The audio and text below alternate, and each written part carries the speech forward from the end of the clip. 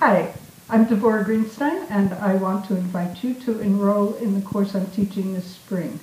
It is about mental disorders and oppression in the United States, and it's a course that is really important for all of us, especially for those of us whose call to ministry is to work with street people or prison ministry or hospital ministry or psychiatric or congregational ministry.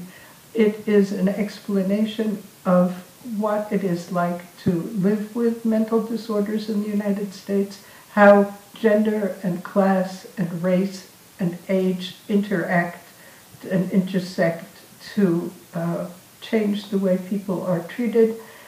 And it's, it's a complex world, things that we call mental illness. And I put that in quotes because the definition of illness changes so handily, especially this year when this new book, all got, I think, 500, no, 900 pages of it, the new DSM-5 came out with some startling new changes. We will learn about that. We will have a textbook, the only textbook.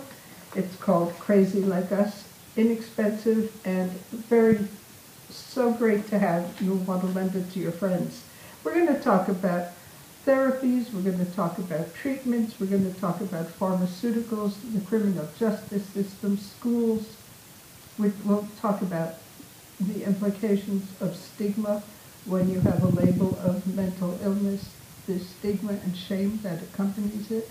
A lot of people take this course because either they or family members or friends have been given a diagnosis of some sort of mental illness, and so they need they have a feeling that they need to learn more about it.